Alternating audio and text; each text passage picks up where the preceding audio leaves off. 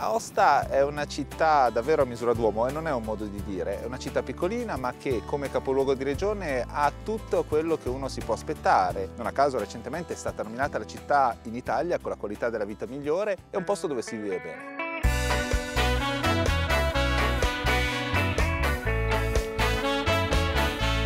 Siamo da Aosta, alla Fiera di Sant'Orso.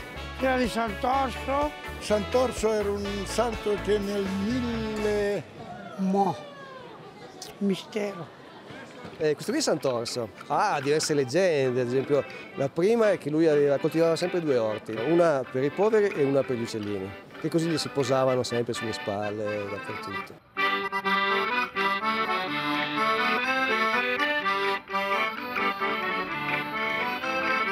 La Fiera di Sant'Orso è il vero momento che unisce tutti i valdostani.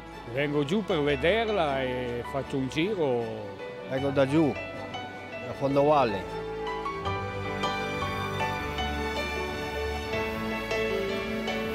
È una fiera millenaria dedicata all'artigianato d'arte e non solo, anche di utensileria della Valle d'Aosta. La fiera si richiama a lui perché si racconta che eh, Sant'Orso provvedeva ai poveri, oltre al pane, anche delle calzature, quelle tipiche calzature che ancora oggi si usano in legno e che noi chiamiamo sabò.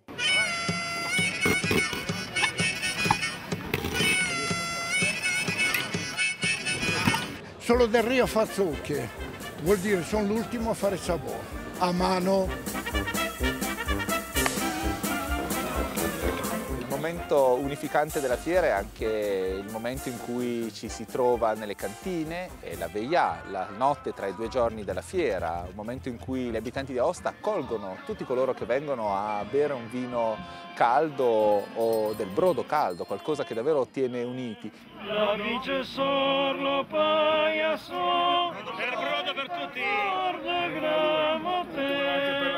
L'unico vero significato è l'amicizia e stare insieme in semplicità, come un tempo.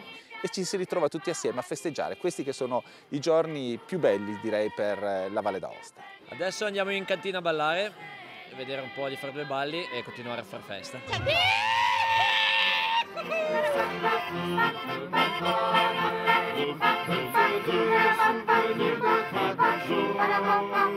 Et nous